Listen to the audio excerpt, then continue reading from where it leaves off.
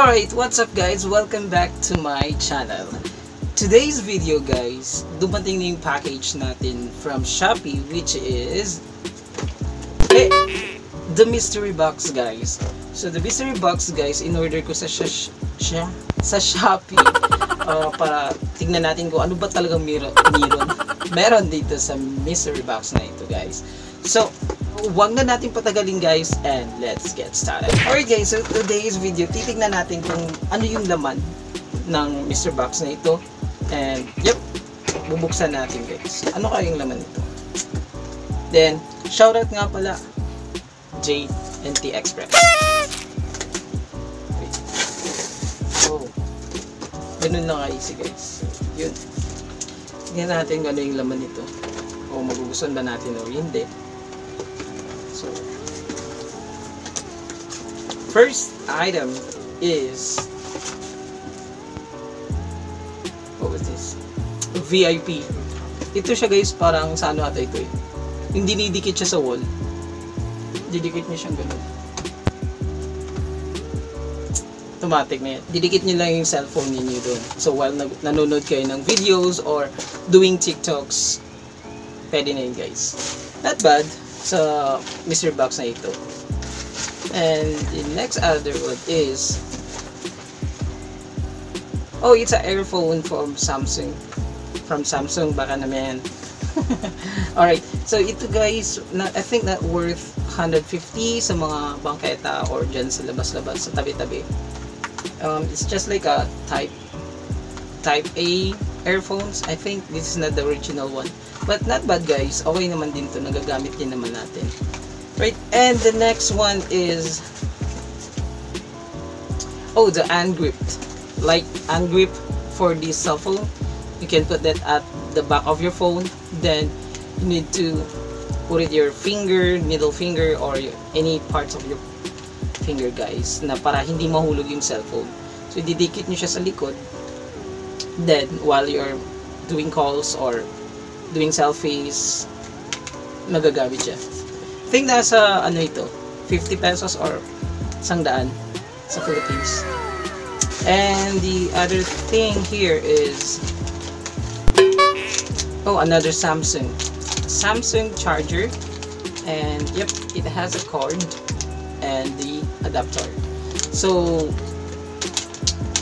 tamang tama guys, kailangan na kailangan ko ng adapter kasi isa lang yung ginagamit kong adapter. So ito, very useful din talaga guys. So lahat naman ng nakukuha ko, useful naman siya. So hindi ka naman din talaga magsisisi. I think nasa worth 150 to sa, sa mga labas, sa tabi-tabi. Or sa malls, ito yung mga ganitong charger na aabot siya ng 300 plus. Even though, hindi siya original. So yun. Useful naman siya at worth it yung magiging bayan ninyo.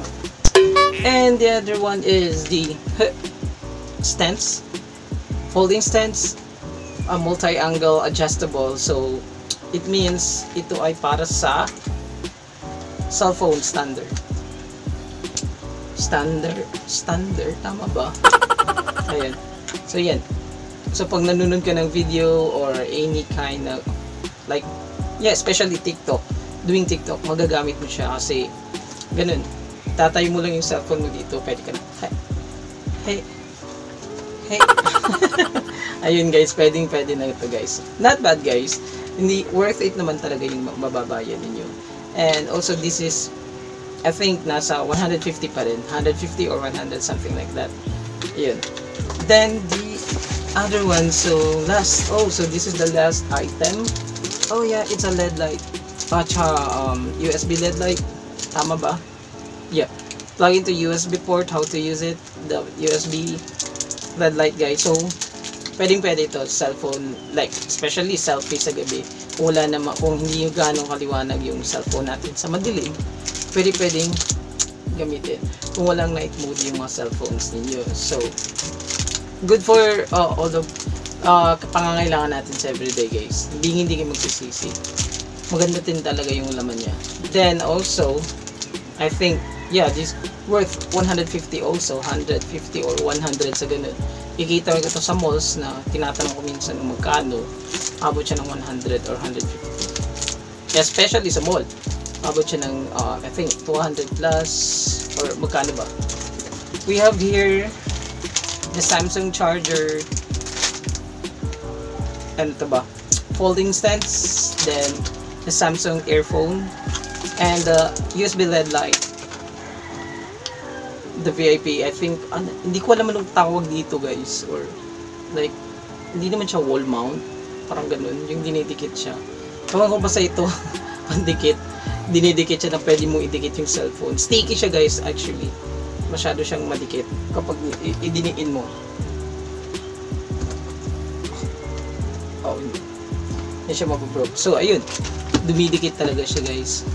We have five items from the mystery box.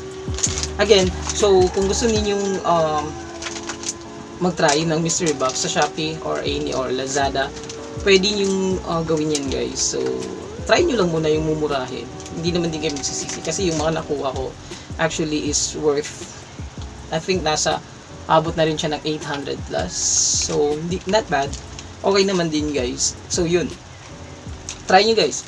You can uh, try to shop at Shopee or Lazada alright so that's it for today's video guys. Thank you so much for watching this video and hope sana nagus hope sana. At sana nagustuhan niyo yung uh, unboxing natin ng mystery box. And hindi naman ako nagsisi. Worth it naman yung mga laman. At especially hindi uh, magagamit mo siya. At mapapakinabangan mo. So yun lang guys. Thank you thank you so much again for watching this video. And hope you like it guys. And don't forget to watch my other videos. And don't forget to like share and subscribe to this channel. Bye